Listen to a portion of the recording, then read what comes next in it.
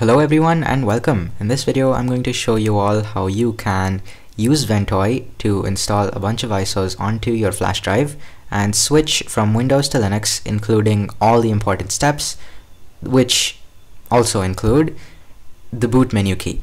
Now this is personally what I got stuck with around two yeah around two years ago when I first installed Linux I did not know exactly where to get started regarding what the BIOS settings were and what exactly we were supposed to do. So in this video, I will show you guys exactly how to do that. Now, to get started, let me just, there we go.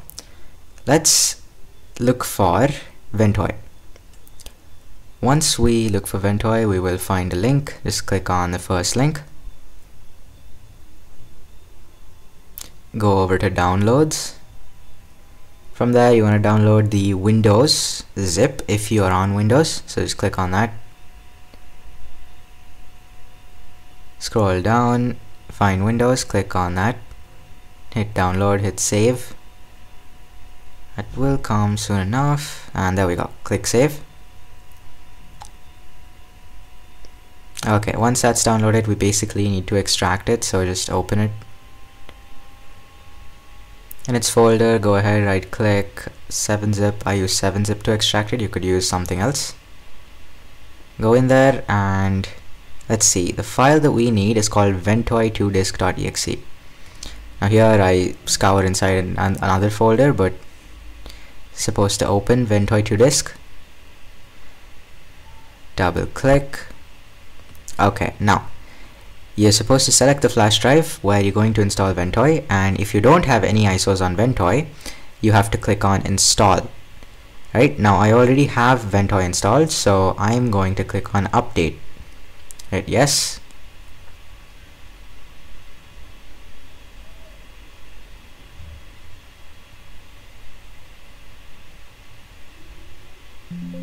Okay that's done. Close that up next we need to download the Arch Linux ISO so head on head on over to their website.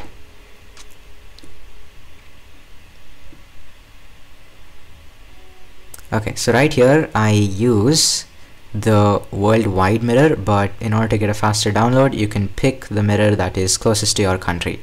So for example I would pick India because that's where I live. And for example if you used it, lived in America or the UK that is the mirror you'd pick from so just save that, go to Ventoy and save the ISO right there. Instead of having to copy and paste from your downloads folder, just save it directly to Ventoy. The download has been finished and next up we need to go on over to look up the boot menu key. Now my machine is an HP 15S DU2040U so just look your model number up and boot menu key. So you'll find that any one of these links should contain your answer so click on them and scroll down. I find over here that I'm supposed to press F9 or the escape key in order to get to the boot menu. Now I have experimented with this previously and I found out that for my computer it is going to be the F what was it? F10 key. Yep. The play pause key F10 so just I need to hit restart and Go ahead. Okay, F10 now. Come on. Oh boy. Oh boy. Not good. Anyways, well, now that we're inside the BIOS, we can go into the boot options over here. Oh, can't see it. Just do that. Okay. Now you can see it just go to the boot options. Scroll down to UEFI oh boy. Again man. Just change the boot order to USB flash drive or USB hard disk. So on the right it's given that you need to use F5 or F6 keys to move the device down or up. So let's use F6 to move that up. Save changes and exit and I have a USB flash drive inserted right now with the ISO put on it that we downloaded on Windows. So once you hit yes it should take us to Ventoy. And there we go. We have ventoy up. So we boot into arch linux's iso the latest one 2024 boot in normal mode. Seems like we have a sort of sound that the ISO likes to make whenever I move through the options so that's great. Click on the first option. Right there. They did this once with uh, another ISO once upon a time where uh, every single time the ISO booted up it would present you with a Pac-Man sound like the sound it plays when Pac-Man first starts. It was a cool easter egg I guess. Definitely terrified me when I first uh, pulled up that ISO here. Not fun.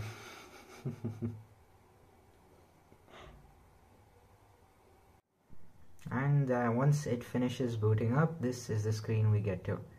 From here you can either install Arch Linux the normal way how you used to all those years ago or you can use arch install which is the more modern method. It's advanced quite a lot and it's very helpful in just starting to get a system set up. Now I've made a more in-depth tutorial about arch install before so I'll just show you guys the bare minimum of what you need to do. Juggling this and typing stuff is going to be a bit slow so bear with me here.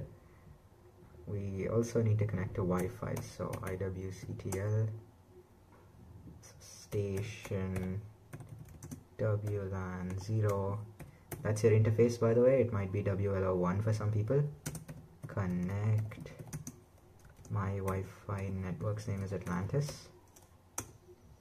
Passphrase just type that in exit ping google just to check if it works. And it does. Next we pull up arch install.